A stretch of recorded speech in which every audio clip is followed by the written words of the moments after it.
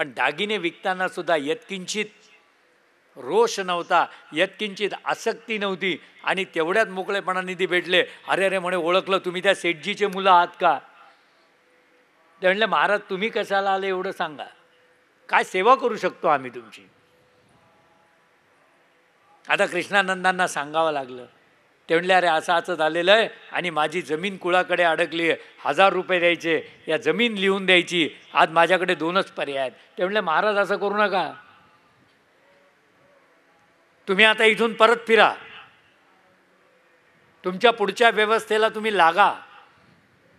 ते काय देणं घेणं आम्ही पाहून घेऊ. आणि ते हजार रुपये आई जगदंबेनी अशा मार्गाने भरले. सोनईचा मार्ग प्रशस्त आला सगळा लवाजवा दर कोस दर मुक्काम ज्याला म्हणतात बैलगाड्यांमध्ये सामान घेऊन सोनईत प्रवेश करता आला केवढा मोठा विषय हो व्हा आपल्यासारख्या सामान्य माणसातून सामान्य माणसांनी अशा प्रसंगातून कोणते कण वेचले पाहिजेत? चरित्र हे प्रसंगातून वेचायचं असतं. हा एवढा प्रसंग वाचल्याने आणि ऐकल्याने आपल्याला दोन गोष्टी कळतात. देवावरती आपला कुठल्याच मर्यादेपर्यंत विश्वास असला पाहिजे. आणि दुसरं कळतं व्यवहारात जी माणसं आपल्याला भेटतात त्यांचा राग धरून उपयोग नाही आहे दुसऱ्यावरती राग गेला तर आपल्या उपासनेचा प्रभाव कमी होतो. आणि म्हणून जो उपासक आहे त्यांनी त्या रागाला जिंकलंच पाहिजे. कारण राग आला की वाणीमधून अपशब्द बाहेर येतात. तळतळाट बाहेर येतात शाप बाहेर येतात आणि आपल्या उपासनेचा प्रभाव कमी होतो. आणि म्हणून सर्वाधय सर्व भूते हिते रता. कर सबका भला. ती आत्मीयता ती आपुलकी हे जे लक्षण आहे एक प्रसंग मोठा अजून सुंदर. काया दग्ध करायची. परमार्थात पाऊलं पुढे पडतात आहेत. असा पाशुपत प्रथाचा विषय होता तसा काया दग्ध करण्याचा अत्यंत वेगळा विषय. किमान या चरित्रामध्ये येईपर्यंत माझ्या वाचनामध्ये कधी या संस्काराची माहिती आली नाही. आपुले मरण पाहिले म्या डोळा.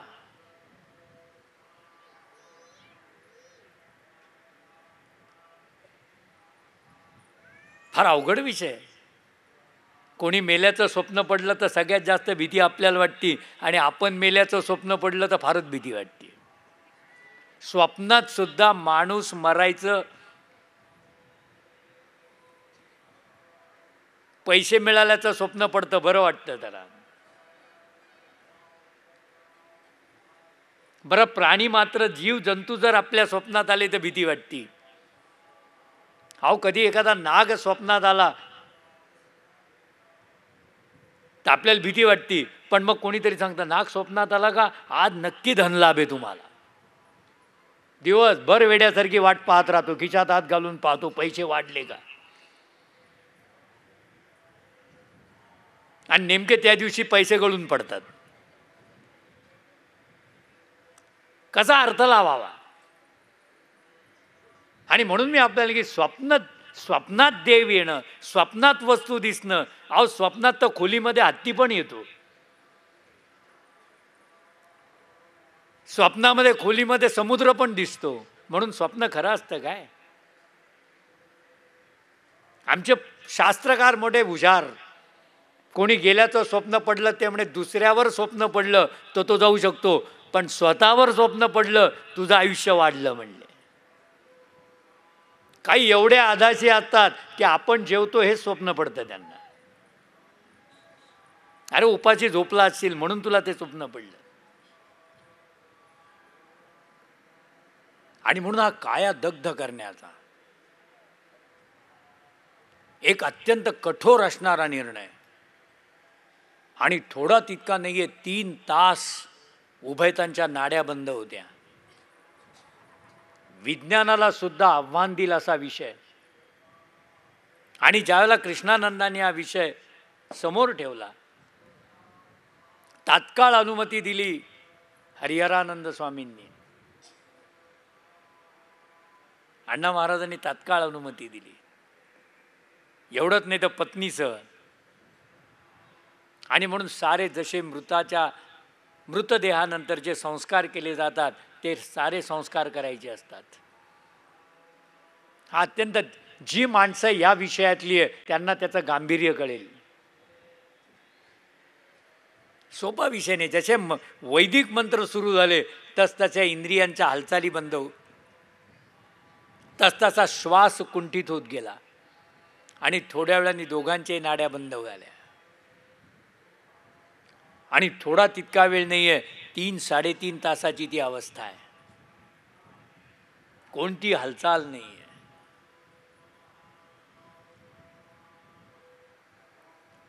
आणि जसा तो कायादग्ध संस्कार पार पडला याच्याविषयी खरं म्हणजे मुळातून सांगायला पाहिजे काया दग्ध करणं हा काय विषय आहे? शरीराचा मोह सोडणं. आपल्याला किती शरीराचा मोह आपण सगळ्यात जास्त दया कुणावरती करतो? स्वतःच्या शरीराची दया आहे का नाही? किती दया आहे? शरीरावर प्रेम नाही आहे आपलं. पण शरीराची दया आहे. आणि शरीराची केलेली दया आपल्याला केविलवाणं करते का नाही पहा? अहो ते शरीर सांभाळलं नाही आता घातलेले कपडे पण शोभत नाहीत. कार्यक्रमाला कोणी बोलवलं तर आधी विचारतो आपण खाली बसावं लागेल का खुर्च्या असतील? बरं मला एक खुर्ची मिळेल का दोन मिळतील? दोन खुर्च्याची सोय आहे का? पाय लांब करून बसता येईल का? काही जण मला भेटल्यावरती सांगतात नाही नाही आम्ही ऐकलं प्रवचन ऐकलं खूप छान झालं मग तुम्ही कुठं मला काही दिसला नाहीत मी विचारतो. नाही नाही मागे बसलो होतो कारण पाय लांब करून बसावं लागतं ना झोपून ऐक बाबा. पाय लांब काय करतो? तुझे कान नेमके कोणत्या इंद्रियामध्ये आहेत? काही जणांचे कान पायामध्ये असतात ते पाय पुढे करून ऐकतात. काही जण असं जसं ऐकत असतात तसा तो पाय पुढे करून ऐकतो. काही झाले की त्याचा पाय पुढे असतो. मग आपण विचार पाय. नाही ते त्याशिवाय ऐकूच येत नाही. आपल्या शरीराची केलेली दया पण आपण असा प्रयत्न का करत नाही हो? त्याने मी मांडी हलवणार नाही. काय कुठं अवधान लागेल ते बघू. शरीर ताब्यात तुम्हाला जर रोगावर विजय मिळवायचा असेल ना तर थोडं जा ना त्याच्या विरुद्ध. ते बसू देत नाही तर बसा बघा प्रयत्न करा. नाही हल्ली गुडघे फार त्रास देतात. कधी बसतच नाही. काही जण तर पूजेला देव देवाऱ्यात आणि हे चौरंगावर. चौरंगावर देव बसतो. दुरावस्था होऊन जाते. जितकं शरीर केविलवानं करतं आम्हाला ना तितकं का बरं शरीराने केविलवानं केलं कारण आम्ही शरीराची दया केली पहिल्यापासून. जेव्हा ते ऐकत होतं तेव्हा त्याला शिकवलं नाही. आणि म्हणून त्याला तरुणपणाचं म्हणतात. जेव्हा शरीर ऐकतं तेव्हा त्याला वाटेल तसं वागवलं. आणि आता मात्र त्या शरीराने साथ सोडली. आता ते आम्हाला वाटेल तसं वागवतं आणि त्याच्यामुळे लोक आमच्यावरती हसतात. नाही हो त्यांना बोलवायचं म्हणजे फार अवघड आहे. त्यांची फार वेगळी व्यवस्था करावी लागते. असं कार्यकर्ते बोलतात मापसामध्ये. नाही त्यांना तिखटच चालत नाही त्यांना गरम पाणी द्यावं लागतं मग ते बसताना मांडी घालून बसतच नाही आणि मग त्यांना आसन मांडावं लागतं. अण्णा महाराजांनी शेवटपर्यंत आपल्या शरीराला असं वागवलं की जणू ते शरीर त्यांचं नाहीच आहे. आणि सहानुभूतीचं दान मिळतं ते शरीरामुळे. आपण काही करायच्या आधीच लोक म्हणतात नाही हो तुम्हाला सहन होणार नाही. गर्दीत कशाला येता? घरी बसा. आपल्याला तेव्हा चाला वाटतं जेव्हा चालता येत नाही तेव्हा बसा वाटतं जेव्हा इंद्रिय साथ देत नाहीत. आणि जेव्हा जागायचं असतं तेव्हा झोपा असतात. आणि जेव्हा झोपायचं असतं तेव्हा जागं राहावं लागतं. उगीच म्हातारे चार वाजता उठून बसतात. काही कारण नाही. बरं काही नामस्मरण करत नाही. उगं जुन्या पिशव्या काढतील काहीतरी काढतील. बरं त्या प्लास्टिकच्या पिशव्या त्याच्यात कडकड आवाज होती. सुनेची झोप होत नाही. तिला ऑफिसला जायचं असतं. ती मग सासऱ्याला चांगलं पट्ट्यावर घेते आणि सांगते यांना बाहेर नेऊन सोडा.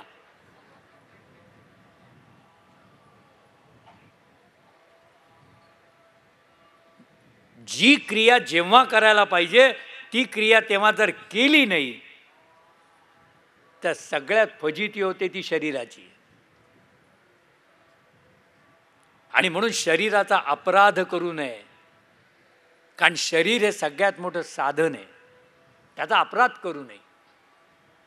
त्याला ताटकळायला लावू नये. त्याची मोडतोड करू नये.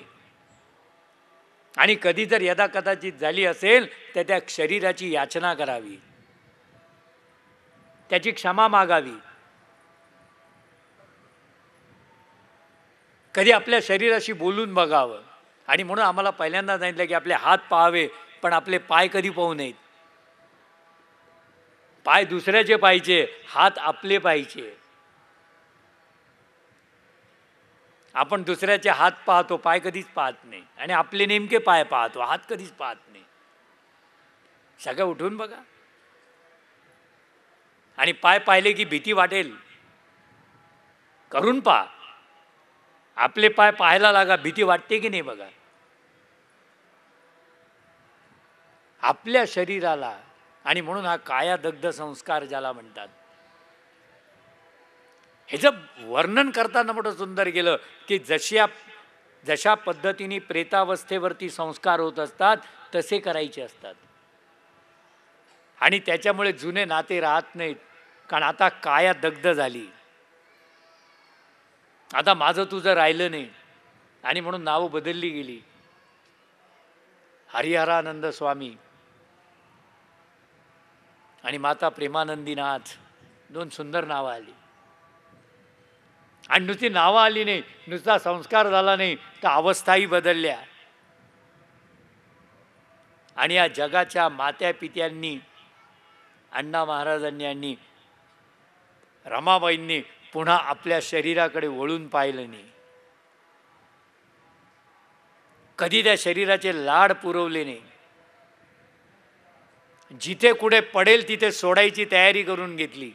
आणि म्हणून मी आपल्याला म्हटलं की अत्यंत कठीण असणारा संस्कार आहे. याच्यापुढे पाशुपत व्रतासारखा संस्कार. भगवान शंकरांनंतर केलेलं. आणि म्हणून आमचे शिवपुराणकार मोठं सुंदर सांगतात की पाशुप्रत नावाचं जे व्रत आहे हे भगवान शंकरांनी केलंय पशुपतीनाथ.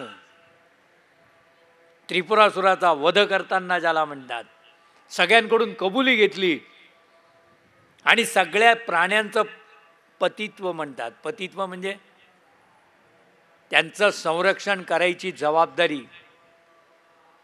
आणि त्याच्यामुळे आमच्या इथे जीव हत्या करू नये. कारण त्याचं स्वामित्व भगवान शंकराकडे. कारण कुठल्याही जीवाची हत्या करणं. आणि म्हणून अहिंसेनी जो प्रसन्न होतो तो भगवान शिव. आणि म्हणून कोणत्याही जीवाची कृमी कीटक पशु पक्षी प्राणी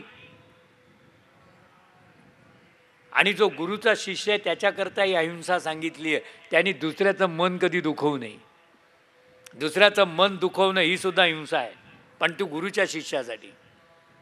आणि पाशुपत व्रतामध्ये सगळ्या जीवांचं स्वामित्व येऊन जातं सगळ्या जीवांना सांभाळायची जबाबदारी येऊन जाते सगळे जीव समान. आणि काया दग्ध अवस्थेमध्ये आपल्या शरीराला शीत एका उष्ण आहे याचं भान सुद्धा ठेवायचं नाही. आणि म्हणून कुठलाही ऋतू असला तरी कमरेला बांधलेला पंचा आणि अंगावर घेतलेलं उत्तरीय याच्यापेक्षा वेगळी अवस्था कुणाला दिसली नाही.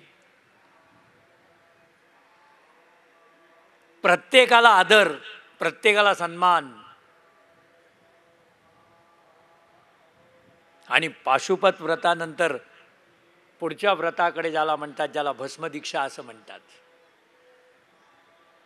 भस्मदीक्षा म्हणजे फक्त भस्म लावणं नव्हे पण भस्म रेखलं पाहिजे. गळ्यामध्ये एखादी कवीना माळ असली पाहिजे. भस्म रेखलं पाहिजे. कुंकुम तिलक घेतला पाहिजे. काल खरंच महाराजांना काळजी वाटली. आणि म्हणून महाराजांनी एकाला सांगितलंच की बाबा गंध कालवून येईल त्याच्यावरती शिक्का लाव. कारण आपण यज्ञमंडपात आलोय. आणि रिकाम्या कपाळाने आहेत कोणाच्या लक्षात नाही आलं? यार काल सांगितलं असेल असं काय कारण आहे? प्रत्येकाने लावून मात्र घेतलं. आणि लावल्यावर जरा बरं वाटलं.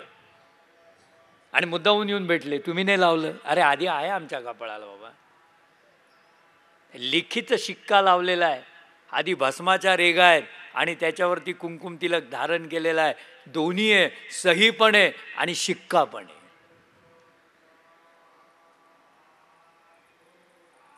आणि म्हणून मग ती गंधाची सोय करावी लागते. आपलं उपास्याला धारण करणं ललाट पूजन करणं. आणि म्हणून भस्मदीक्षा म्हणजे केवळ भस्म धारण करणं नव्हे. पण भस्मदीक्षा ज्यांनी घेतली त्या वामदेव ऋषींचा उल्लेख ज्याला म्हणतात. काही उल्लेख मला सापडले काही उल्लेख आहेत. पण फारसे नाही आहेत आणि अलीकडच्या काळामध्ये म्हटलं तर परमपूजनीय अण्णा महाराज आहेत हरिहरानंद स्वामी आहेत की ज्यांनी भस्मदीक्षेचा अवघड विषय घेतला. ते भस्म धारण करणं म्हणजे शिवाला प्रिय होणं आहे. शिव सायुज्यता आहे. शिव शासनत शिवाच्या शासनामध्ये राहण्याचा विषय शिवतत्वामध्ये विलीन होण्याचा विषय. आणि आपल्याला माहिती आहे शिवतत्वात विलीन होणं हा काय प्रकार असतो? शिवतत्वाचा प्रारंभ होतो म्हणून एकसष्टी हळूहळू उग्ररथ शांतीनंतर शिवतत्वाकडे पावलं वळायला लागतात. साठ वर्षापर्यंत स्वतःला जिंकायचं असतं आणि साठ वर्षानंतर मृत्यूला जिंकायचं असतं. आणि म्हणून शिवशासनता. आणि म्हणून त्या शिवाची अपेक्षा करणं. वर्णनही केलंय. याही चरित्रात आलेलं आहे आचार्यांनी केलं चिता भस्माले पो गरल मसनम दिक्पट धरो. तो तर चितेचं भस्म लावतो. पण ज्याला चितेची भीता सोडाय भीती सोडायची ना त्यांनी स्वतः भस्म लावून घ्यावं. देवा आता चितेची भीती नाही राहिली. आता चित्ताकडे वळलोय. आणि म्हणून आपल्याला की ज्याला चित्त कळलं नाही त्याला चितेची भीती वाटते. आणि ज्याला चितेची भीती वाटते तो नेहमी चिंता करतो. हे तिन्ही आहेत. आणि म्हणून या काया दग्ध अवस्था पाशुपत व्रत त्याच्यानंतर घेतलेली भस्मदीक्षा आपल्या देहादी इंद्रियांवर आणि मनापासून तर अहंतेपर्यंत मिळवलेला विजय ज्याला म्हणता येईल. आणि म्हणून आजच्याही काळामध्ये देवाला जिंकलेला जर कोणी असेल तेही देवाशी कोणत्याही प्रकारचं भांडण न करता देवाशी कोणत्याही प्रकारचं युद्ध न करता ज्यांनी देवलोकावरती विजय मिळवला असं जर कोणतं व्यक्तिमत्व असेल ना तर ते परमपूजनीय अण्णा महाराजांचं व्यक्तिमत्व आहे. की देवलोकावरती मिळ वनाची अवस्था आहे जंगल आहे. आणि इतक्यात वानरं आले असं सांगतात. आणि मग तर अजून घाबरा घाबरगुंडी उडाली. हे वानर सगळे बरोबर आहे न जाणो काय करतील? कृष्णानंदानी मोठं सुंदर सांगितले की अरे हनुमंत आलाय. आपल्याला मार्ग दाखवायला आलेला आहे. आणि हळू हळू हळू हळू सगळा यात्रेचा काफिला ज्याला म्हणतात त्या वानरांच्या बरोबरीने चालला आहे वानर कधी झाडावरती आहेत कधी बरोबर. आहे एक तो मोठं वानर आमच्या कृष्णानंद स्वामींच्या बरोबर चाललंय. जणू गप्पा मारतात ते दोघं जण. महाराजांनी सगळ्यांना सांगितले अरे हनुमंत साक्षात आपल्या बरोबर आहे बाळांनो काळजी कशाला करता? नाही काळजी करत नव्हते पण भीती काही कमी होत नव्हती. कोणी म्हणले वानर हे बरोबर असणारी शिधा सामग्री खाऊन घेतील. कोणी म्हणले नासाडी करतील. कोणी म्हणले लोकांना त्रास देतील. पण वानर आणि एकानी देखील नाही. देव कसा येतो? कसा मार्ग प्रशस्त करतो. आणि माहूरला पो पुढचं गाव आलं आणि नुसतं गाव आलं नाही गावातली अधिकारी मंडळी आली आणि नुसती आली नाही स्वागत केलं कारण दुसऱ्या दिवशी हनुमान जयंती होती. आणि बरोबर हनुमान जयंतीच्या समयाला त्या मुहूर्तावरती ज्याला म्हणतात हा सगळा काफिला त्या गावात जाऊन पोचला का हो, देव सापडत नाही का आपल्याला? का देव आहे आणि आपल्याला पाहता येत नाहीये. का दरवेळेला त्यांनी चार हातानीच यावं आणि चार हाताचा आलेला देव चालेल का? अहो एखाद्याच्या बोटाला करंगळीच्या बाजूला बोट जास्त असलं तर आपल्याला भीती वाटते त्याची. नक्की माणूसच आहे का? नाही पाय पाहून घ्या म्हटले उलटे पाय असले तर उलट्या पायाचा अर्थच कळत नाही. आणि एक मात्र लक्षात ठेवलं पाहिजे माणसापेक्षा भूताचा सहवास चांगला असतो. आता कसा असतो बघून घ्या. माणसं भूतासारखी झाली तर घाबरावं पण भूत कधी माणसासारखं होत नाही. आणि मी या चरित्रातून अण्णा स्वामींच्या चरित्रातून शिकलो. त्यांना जर कोणी सांगितलं महाराज इथे भूत आहे तेवढ्याच्या अरे वा चांगली जागा आहे मग. कारण माणसं त्रास देणार नाहीत. त्याला आपली मर्यादा आहे. वायू स्वरूप आहे. आणि म्हणून ज्यांनी जड सोडलंय ज्याचं शरीर सुटलंय परंतु कोणत्या ना कोणत्या वासनेमध्ये अडकून बसलाय त्याला त्याचा देह सापडत नाहीये. देहाच्या शोधात ते भटकतंय. आणि म्हणून अण्णा महाराजांनी त्याही जीवांवरती कृपा केली. आपला सहवास त्यांना दिला आणि त्याच्यातून त्यांना मुक्त केलं ती योनी त्यांची सोडवून घेतली. मग तो बुऱ्हाणनगरचा वेताळाचा कट्टा असू द्या का सारोळ्याचं देवीचं मंदिर असू द्या. सारोळ्याच्या देवीच्या मंदिराच्या बाजूला अंबावनामध्ये केलेलं एक त्यांचं छोटंसं अनुष्ठान अत्यंत सुंदर आहे. आईसाहेबांनी ते उघड्यावरती राहत असत. एक एक प्रसंग. आणि म्हणून मी क्रमाने साकाणी जीवनचरित्र आहे जीवनचरित्राला क्रम नसतो. जन्म मृत्यू सुद्धा क्रमाने नाही आहे आणि म्हणून मृत्यूची चौकशी करायला गेलेल्या त्या ऋषीपुत्राला आमच्या उपनिषदामध्ये त्याच्या गुरुनी मोठा सुंदर प्रश्न विचारला. त्याने महाराज मला मृत्यू समजून सांगा. ते म्हणले मरतो कोण? तो काय प्रश्न आहे? म्हणलं जो जन्माला आला तो. पण म्हणले अरे तू जन्मालाच आला नाही तर तू मरतो कसा? बघा उत्तर आहे. त्यामुळे महाराज असं कसं काय? मी तर जिवंत आहे. म्हणजे तुला आठवतं का? तू केव्हा जन्माला आला? कसा होता तू? जन्माला आलेले आठवत नाही आणि मरणाचा अनुभव नाही आणि तरीसुद्धा जन्म आणि मृत्यू हे दोन आहेत असं आपण समजत राहतो. मृत्यू दुसऱ्याचा पाहून माहिती आहे. आणि आपल्याला एक अंदाज आहे. आपला एक विचार आहे आपली एक कल्पना आहे की एक दिवस आपल्यालाही मरण येणार आहे. कारण मरणाची वार्ता ऐकली आहे. जन्माची वार्ता ऐकतो आणि मरणाचा अनुभव नाही आहे आणि म्हणून जन्माला आला असं वाटायला लागतं. हे सारं जिंकत एक एक अवस्थेला पार करत आणि म्हणून अंबावनामध्ये केलेलं अनुष्ठान. आणि आईसाहेबांची तब्येत थोडी बिघडली.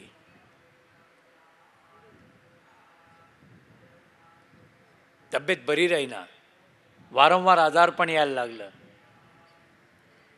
वैद्य झाले उपचार झाले डॉक्टर झाले. आणि महाराजांच्या एकदम कृष्णानंद स्वामींच्या लक्षात आलं.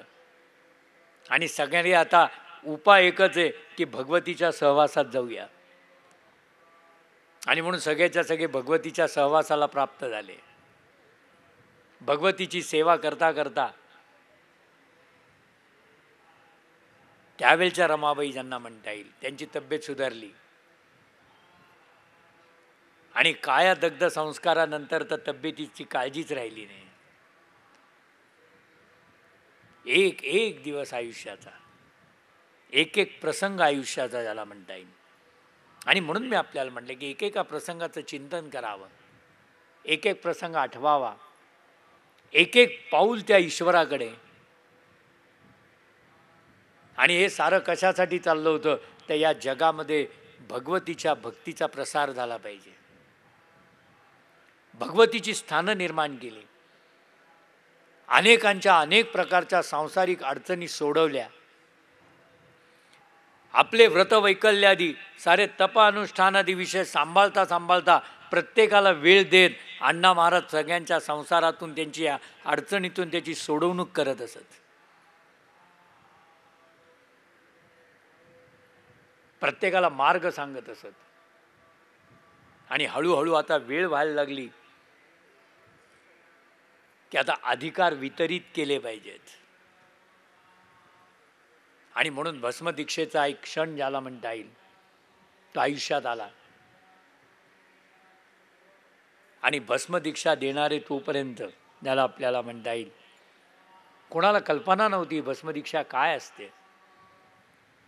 प्रख्यात असणाऱ्या शैवांना देखील याची कल्पना नव्हती की भस्मदीक्षा काय असते कशी घ्यायची असते. कोणते विधी असतात कोणते उपचार असतात. त्याच्या आधी आईसाहेबांनी केलेलं संकल्प ज्याला म्हणता येईल की एक लक्ष पाठ सप्तशतीचे करायचे आणि म्हणून रोजचे श शंभर पाठ व्हायला लागलेत. स्वतः जागरूकपणाने ज्याला आपल्याला म्हणता येईल आईसाहेब लक्ष ठेवून आहेत. यथा सांग त्या संकल्पाची सिद्धी झाली. तेवढं हवन झालं अन्नसंतर्पण झालं. आणि अण्णा महाराजांनी लक्षचंडी यज्ञ करायचं ठरवलं. आज हे शब्द ऐकू देखील येत नाहीत.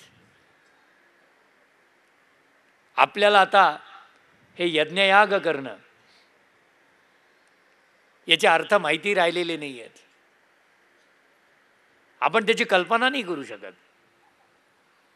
आता आपल्याला माहिती की नवचंडी करायची आपण फार तर उडी कुठपर्यंत आपली नवचंडीपर्यंत आणि नवचंडी घरामध्ये करतो पण घर खराब नाही झालं पाहिजे. घराची फरशी घराचा रंग. आणि कुणीकडून येत असेल बघा सूचना कुणीकडून येतात. आलेल्या गुरुजींना अनेक गोष्टीला तोंड द्यावं लागतं. आणि म्हणून गुरुजीसुद्धा हुशार झाले. यज्ञपात्र बरोबरच घेऊन येतात. त्यानंतर तुमच्या इथे होम मांडणंच नको. आमच्याबरोबर आहे. पत्र्याचं यज्ञकुंड घेऊनच येतात. घराची कशाला काळजी करतात? जिनी घर दिलंय ती घर राखेल? नवचंडी करतो म्हणजे वर्षभर किमान वर्षभर सगळ्यांना सांगतो आम्ही नवचंडी केली बरं का? नवचंडीशिवाय आमच्या इथे कामच होत नाही. अहो खरं त्या चंडीचं एखाद दिवशी लक्ष गेलं ना आपल्याकडे तर अवघड आहे. किती वेळा तोंडावाटे काढतो आपण. नाही आमच्या इथे नवरात्रामध्ये पाठ होतातच. त्या गुरुजींना लावूनच दिलंय. आता गुरुजींनाच लावतात. आता काय? अजून लावा लाव्या काय करायला पाहिजे? नाही आमच्या इथे आणि गुरुजींना सांगून ठेवलंय सकाळी पाच वाजता या. सहा वाजेपर्यंत तुमचा पाठ आटोपला पाहिजे. मुलांना शाळेत जायचं असतं मला डब्बा करावा लागतो. तुमचा डब्बा गोल असा देवदेव असतो काय? असं त्या देवाला आव्हान असतं काय? असं त्या देवाला आमंत्रण निमंत्रण असतं काय? आणि मग तो देवही तसाच करतो. तोही म्हणतो जाता आता चक्कर मारून जाऊ. आले समोर तर आशीर्वाद देऊ नाही आले तर त्यांना सांगून देऊ. मी आलो होतो तुम्ही घरी नव्हते. मिस कॉल झाला. तर देवालाही वेळ कुठे आहे? आपल्यासारखे लहरी मोहम्मद त्याला किती सांभाळावे लागतात? आणि म्हणून जोपर्यंत ही अहंता संपत नाही आणि म्हणून मी आपल्याला की कोणत्या गोष्टी विसरायच्या करायचं आणि विसरायचं ही कला साधली पाहिजे. केलं आणि विसरलं हा सामान्य भाव ज्याला म्हणतात तो अंतःकणामध्ये प्रदीप्त झाला पाहिजे. पण जिथे अहमपणा पाहिजे कृष्णाने सुद्धा जिथे अहंकार पाहिजे तिथे आणला अहम वैश्वानरो भूतवा चातुर्वर्ण मया सृष्टवम. जिथे अहंकार घ्यायचा तिथे घेतला आणि जिथे सोडायचा तिथे सोडून दिला. आणि त्याच्यामुळे हा भस्मदीक्षेपर्यंतचा सारा प्रवास ज्याला म्हणता येईल. आता पावलं थकली गात्र थकली आहेत आता. थकली म्हणजे थकवली खरं सांगायचं म्हणजे. परी परंतु तरी भारदेंसारखी वजनदार मंडळी आली. बाळासाहेब भारदे आणि भास्कर बुवा भारदे. आता भार दे नावच आहे वजनदार माणसं आहेत. आणि त्याने अण्णा महाराजांना सांगितलं की महाराज कसेही करा. अमृत महोत्सव झाला पाहिजे. पुढे सहस्त्रचंद्र दर्शन झालंय. महाराज नाही म्हणत होते. अधिकार देऊन टाकले होते. आप्पा महाराजांना दंडाचा अधिकार आहे. आणि सोनई संस्थांचा अधिकार नाना महाराजांकडे सुपूर्द केला. यज्ञेश्वराकडे आपलं कमंडलू देऊन टाकलं. योगी किती निस्संग होत जातो हे कळलं पाहिजे. आणि म्हणून मी एक शास्त्र नेहमी सगळ्यांना सांगत असतो आपणही लक्षात ठेवा.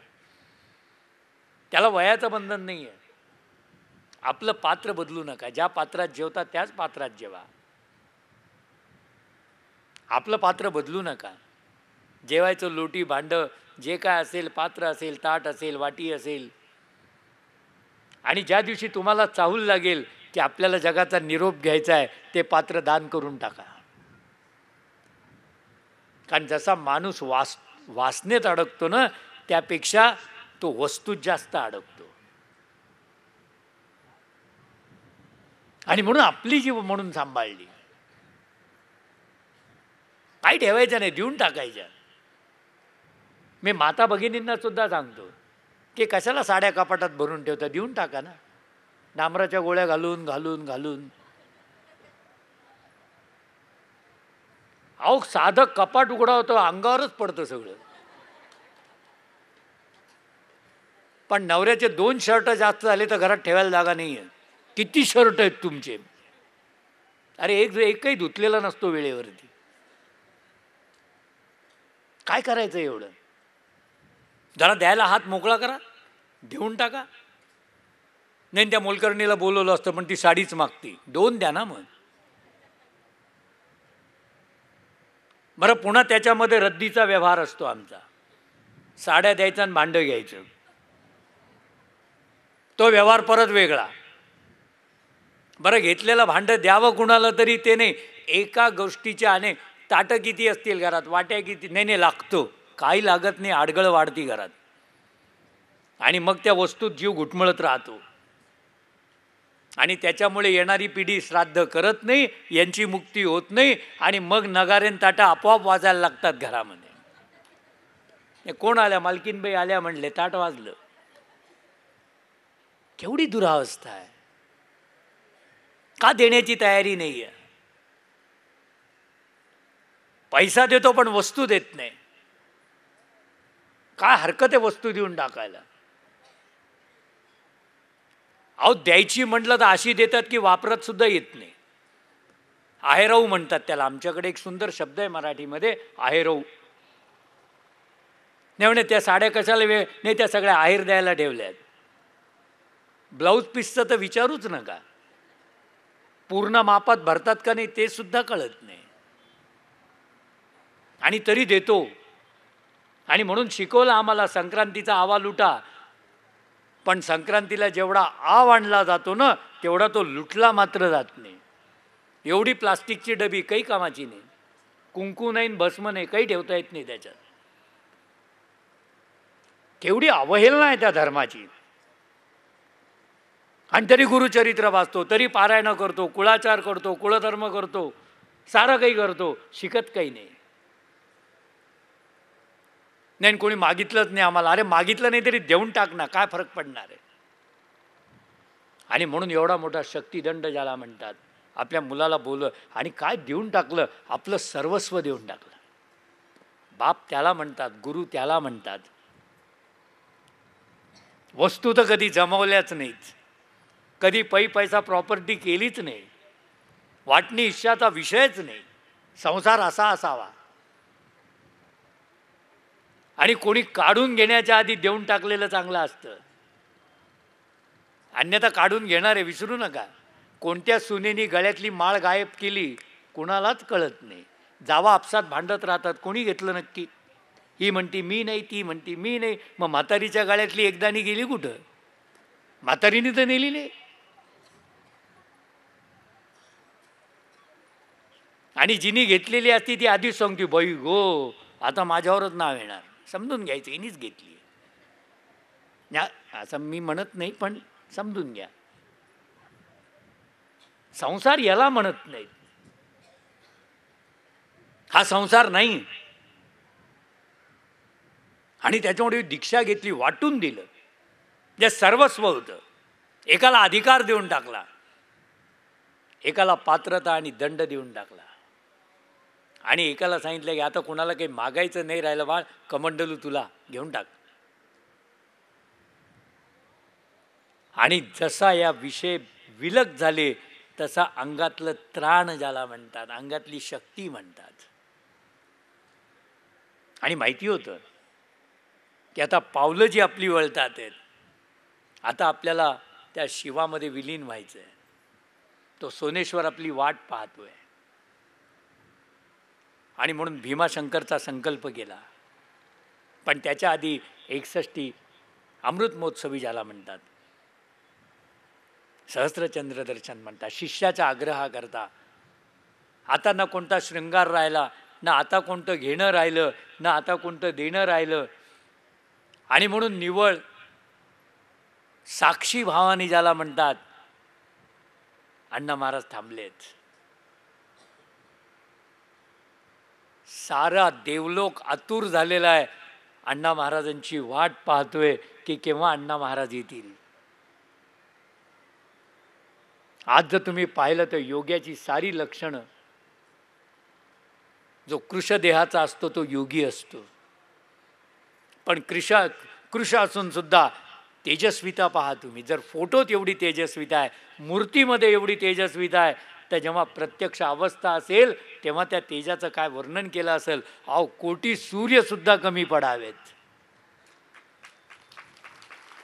ती आभा आपल्याला दिसली पाहिजे त्या तेजाचं आपल्याला दर्शन करता आलं पाहिजे. आपल्या गुरुच्या दर्शनाला गेल्याबरोबर ते तेज तत्व प्रज्वलित झालं पाहिजे. त्या तेज तत्वाचा काही अंश आपल्यामध्ये शिरला पाहिजे. पंचमहाभूतांपैकी एक एक पंचतत्व ज्याला म्हणतो महाराजांनी आपलं जे आहे सोडलं नाही त्याला प्रसन्न केलं. आणि म्हणून एवढं शीत असणारं ते जल होतं. पण स्वतःच्या पिंडाचं दान करताना अंतिम क्षणी ज्याला म्हणतात अण्णा महाराजांनी जी डुबकी मारली पाण्याचा थंडपणा सुद्धा नाही नाहीये.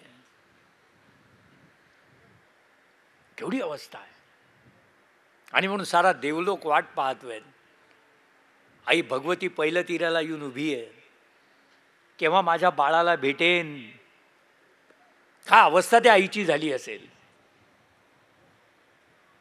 बरोबर राहणं आशीर्वाद देणं जन्म देणं आणि स्वतः चार पावलं पुढं जाऊन आपल्या अपत्याची वाट पाहणं.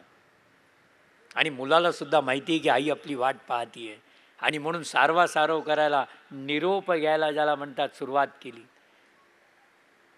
ज्या रमाबाईंनी माता प्रेमानंदीनाथ यांनी जी जन्मभर साथ दिली ज्या वडिलांचं बोट धरून जन्मभर परमार्थाच्या मार्गावरती आक्रमणा गेली ही माणसं पुढे गेली आहेत.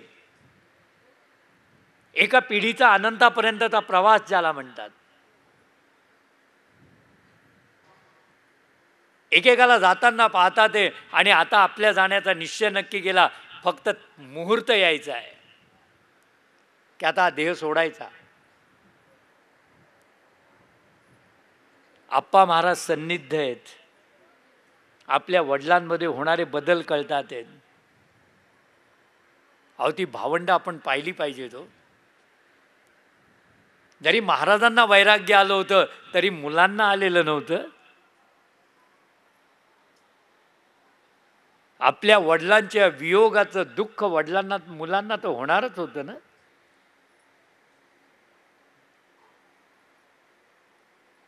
आणि अशी अवस्था आली आहे. कोणत्याही क्षणी ग्लानी येते. इथे मी तुम्हाला पुन्हा आठवण करून देतो. की हा प्रसंग जेव्हा आप्पा अण्णा महाराजांच्या जीवनामध्ये घडतोय ज्यांची आठवण येते ते संत ज्ञानेश्वर आहेत. संत ज्ञानेश्वरांना सुद्धा समाधीपूर्व ही ग्लानी यायची. जिथे बसतील तिथे समाधी लागायची. अण्णा महाराजसुद्धा जिथे बसत असत तिथे त्या भगवतीच्या स्मरणामध्ये ते तल्लीन होत असत. आणि केव्हा भाव समाधी लागे काही कळत नव्हतं. आणि हे बदल लक्षात येत होते परमपूजने आप्पा महाराजांच्या. आप्पा महाराज जाग करायचे. विचारायचे. आणि आप्पा महाराजांना आज्ञा झाली. पित्याच्या सहवासामध्ये पुत्राचं हृदयसुद्धा पुत्राला कठोर करावं लागतं. आप्पा महाराजांनी तो कठोरपणा पत्करला. पण तरी काळीज ज्याला आपण म्हणतो ज्या आपल्या पित्याला वाहिलेलं आपलं सर्वस्व आहे. मला तरी आप्पा महाराजांच्या चरित्रामध्ये दुसरं कोणतंही दैवत दिसलं नाही अण्णा महाराजांच्या शिवाय. जरी देवी उपासना होती देवीची आराधना होती तरी सुद्धा ते आपल्या पित्याला तिथे पाहतात. आणि म्हणून हा पितृभक्तीचा असणारा मळा आणि हा पित्याच्या प्रेमाचा असणारा अत्यंत सुंदर मळा झाला म्हणता येईल. आज अमरीश महाराज तुम्हाला सगळीकडे फिरताना दिसतात पण लक्ष कुठं असतं? आणि म्हणून मी म्हणलं की नात्याची सिद्धी पाहता आली पाहिजे आपल्याला. आज दोन्ही रोल करावे लागतात अमरीश महाराजांना सुद्धा. एक मुलगा म्हणून सुद्धा रोल निभवावा लागतो. आणि एक या कार्याचं अर्धयुत्व जे त्यांच्याकडे आलेलं आहे या कार्याचं संचलन जे त्यांच्याकडे आलेलं आहे या कार्याचं जे प्रमुखपद त्यांच्याकडे आलं आहे त्याच्याकडे लक्ष ठेवावं लागतं. व्यवस्थित चाललं आहे का नाही? आल्या गेल्या प्रत्येकाची लहान मोठ्यापासून चौकशी. अनेकांना पटापट नमस्कार करताना आपण सुद्धा कंटाळा करतो. किती वेळा नमस्कार करायचा ते कंटाळत नाही भेटला की नमस्कार. इथे येणारा प्रत्येकजण त्यांच्याकरता हंसराज हंसतीर्थ स्वामी महाराजांसारखा आहे. त्याच्यात पाहतात. आणि एवढं करून कुठे कंटाळा नाही जांभई नाही कुठेही करून डोळे लावणं नाही डुकली नाही. मी पाहतोय तुम्ही पाहता? मी तर आजोबाचं दर्शन नातवामध्ये होत असतं. आणि म्हणून नातू हा खरा प्रतिनिधी असतो आजोबांचा. मुलापेक्षाही नातवाकडे अधिकार जास्त असतात आणि म्हणून त्याला बापसे बेटा सवाई म्हणतात. वडला आजोबांचा अधिकार वडिलांचा अधिकार हे दोन एकत्रित केल्यावर ज्याचे अधिकार होतात ना त्याला नातू असं म्हणतात. आणि म्हणून भारतीय संस्कृतीला नातू अत्यंत प्रिय आहे. आणि म्हणून ती माता ती आई जगदंबा ती आता वाट पाहतीये की केव्हा आपल्याला आपल्या लेकराची भेट होईल. आणि महाराजांनी निर्णय संग्रामनगरमध्ये जाहीर केला. आज त्या स्थानी आपण आहोत. आणि निर्णय जाहीर केला. आणि सांगितलं की आता भीमाशंकरला जायचं आहे अत्यंत अवघड असणारं दैवत भीमाशंकर आहे. भीम. आणि भीमाशंकरला जायचं म्हटलं की आप्पा महाराज एकदम काळजीत पडले. की अरे भीमाशंकरला जाणं नाही आहे ही महाप्रयाणाची तयारी आहे. आता निरोप घेणार आहेत. ही निरोपाची तयारी आहे. पण आजोबाचा जीव नातवात गुंततो आणि म्हणून यज्ञेश्वरांचा विवाह ठरलाय.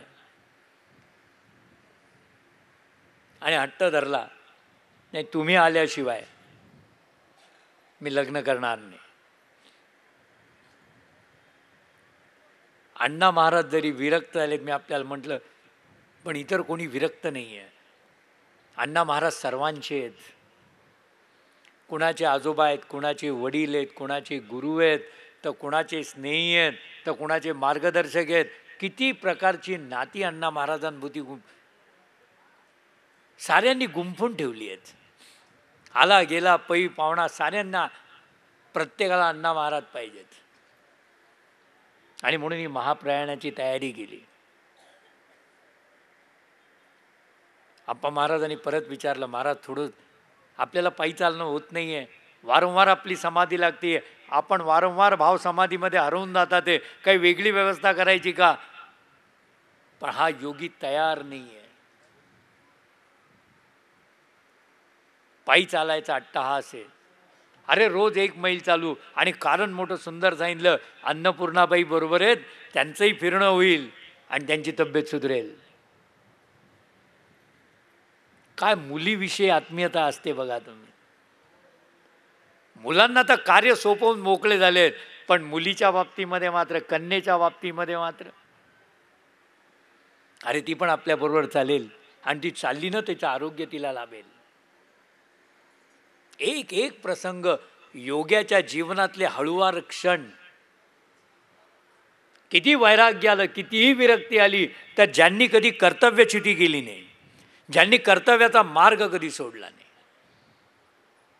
आणि म्हणून असणारा अत्यंत श्रेष्ठ विषय पावलं सोनईकडे पडायला लागली आहेत. शिष्य बरोबर चालतात आहेत.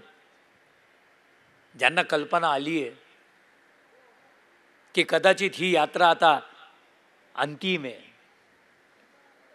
आता योगी पुन्हा आपल्याला चालेल का चालता येईल का नाही आपल्याला सहवास मिळेल का नाही? आणि म्हणून अत्यंत शिष्य जे आहेत हे गर्दी करून चालतात. आहेत एक एक किलोमीटरचा प्रवास एक एक फरलांगाचा प्रवास करत ज्याला म्हणतात अण्णा महाराजांची पावलं सोनईकडे वळतात. आहेत सोनईला जाऊन पोचलेत आणि आता ग्लानी वाढत चालली. तो शब्द ग्लानी खरं म्हणजे ग्लानी नाही आहे ती ती समाधी अवस्था असते. महासमाधीच्या आधी येणारी समाधी अवस्था असते. आपल्या जीवनाच्या साऱ्या प्रसंगाचं चिंतन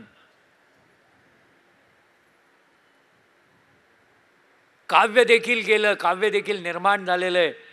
हजारो ओव्या मुखातून बाहेर पडल्या आहेत. ही सारी भगवती ओव्याच्या रूपाने नटली आहे. परांबिकेसारखा एक श्रेष्ठ ग्रंथ त्यांनी या जगाला दिला. देवी भागवताच्या काही अंशावरती अत्यंत श्रेष्ठ ज्याला आपल्याला म्हणता येईल असं भाष्य त्यांनी केलं. अनेक पदांच्या रचना गेल्या आरत्यांच्या रचना गेल्या अनेक गोटी प्रतिष्ठित केल्या आता सारं इह आणि परत्र ज्याला म्हणतात सिद्ध करून टाकलं आणि आता वेळ आलाय ज्याला म्हणता येईल आणि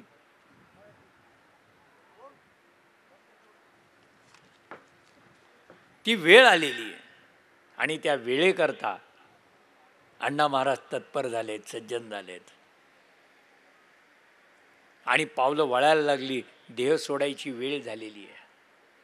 मुहूर्त पाहिला अठराशे चाळीसमध्ये सुरू झालेला हा प्रवास. आणि म्हणून मी आपल्याला हे सारं घडतंय एकोणीसाव्या शतकामध्ये. विसाव्या शतकाकडे आपला प्रवा प्रवेश ज्याला म्हणतात. आणि म्हणून अत्यंत सुंदर असा हा विषय. सारांश रूपाने खरं म्हणजे इथपर्यंत येणारा. पण एक लक्षात ठेवलं पाहिजे देह सोडला तरी योगी जात नसतो. योगी हा सूक्ष्म रूपाने ज्याला म्हणता येईल. आजही आहे. आणि म्हणून आपल्याला ते दर्शन घेता आलं पाहिजे. आपल्याला पाहता आलं पाहिजे. वडील कुठे भेटतील? वडिलांना भेटायचं असेल ना तर मुलाला भेटावं. मुलाच्या रूपात वडिलांची भेट होत असते आणि म्हणून मुलगा वडिलांसारखा दिसतो.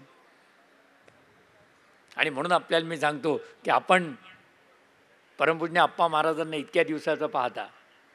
आता आप्पा महाराजांचं चालणं बघा तुम्ही कसं झालेलं आहे. थोडं बारकाईने पाहावं आपण. मी पाहतोय तुम्ही पाहता. कशी लक्षणं उमटतात. पिता कसा साकार होतो पुत्रामध्ये. कसा आकार धारण करतो. आणि म्हणून पित्याला जाणं नाही गुरुला जाणं नाही योगी तर जात नाही. योगी हा तरल देहाचा असतो. आणि म्हणून आपल्या वियोगाचं दुःख कोणाला होऊ नये म्हणून पहिल्यांदा कायादग्ध संस्कार करून घेतला पाशुपत संस्कार करून घेतला त्या व्रताचा अंगीकार केला भस्मदीक्षा घेतली आणि आता लौकिक अर्थाने देह झाला म्हणतात तो सोनईमध्ये सोडला. हे सारं ज्यावेळेला आपण पाहतोय अनुभवतो म्हणून मी आपल्याला म्हटलं की हे चरित्र काही सामान्य चरित्र नाही आहे हे चरित्र जर आपल्याला ऐकायचं असेल आणि म्हणून मी म्हटलं की मी आता महाराजांकडे ती परवानगी मागणार आहे की महाराज जागोजागी याचं गुणसंकीर्तन व्हावं. आज अण्णा महाराजांची पालखी आपल्याला पुढचं वर्षभर झाला आपल्याला म्हणता येईल. त्या त्या स्थानी नेऊन मिरवता आली पाहिजे. ज्या ज्या स्थानी अण्णा महाराजांचे चरण फिरलेत. तेव्हा आपल्याला म्हणण्याचा अधिकार राहील की ज्या ज्या स्थळी हे मनदाय माझे त्या त्या स्थळी हे निजरूप तुझे. मी ठेवितो मस्तक ज्या ठिकाणी तेथे तुझे सद्गुरू पाय दोन्ही आणि म्हणून या चरित्राची सेवा करण्याची संधी आणि मी मोठा भाग्यवान आहे. की अचानक अप्पा महाराजांची आज्ञा आली आणि त्यांनी सांगितलं की तुम्हाला हे करायचं आहे मला राबवलं नाही. मी लगेच आलो आणि मी म्हटलं महाराज एवढी मोठी आठवण तुम्ही काढलीत आणि एक एवढा मोठा एवढं मोठं काम आपण माझ्यावरती सोपवलेलं आहे.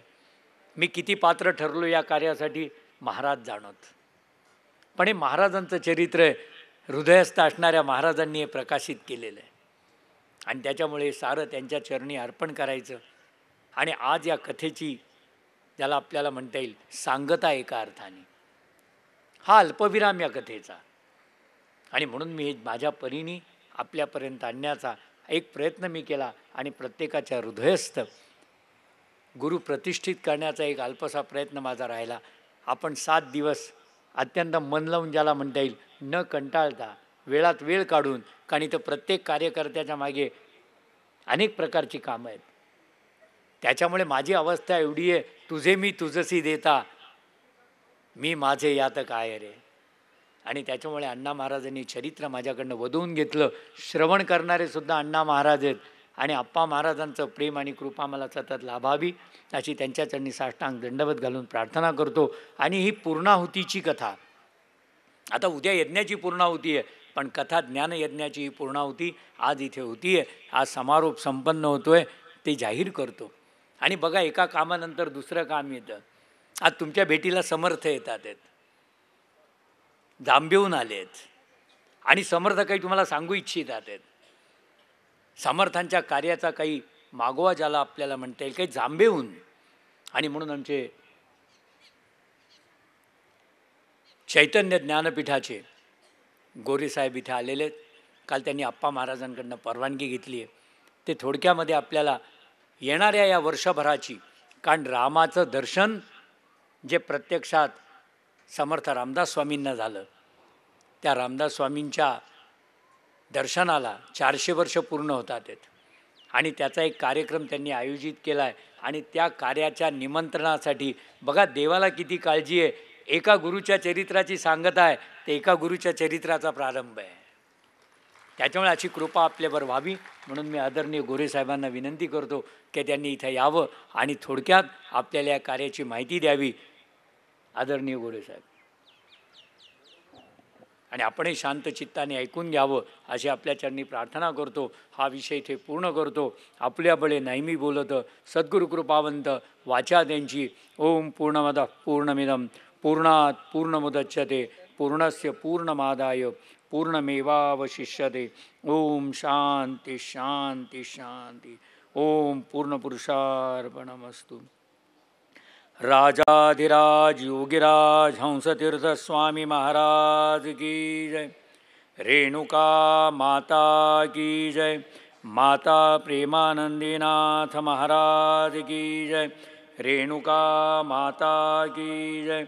नमः पार्वतीपते। हर हर हर महादेव।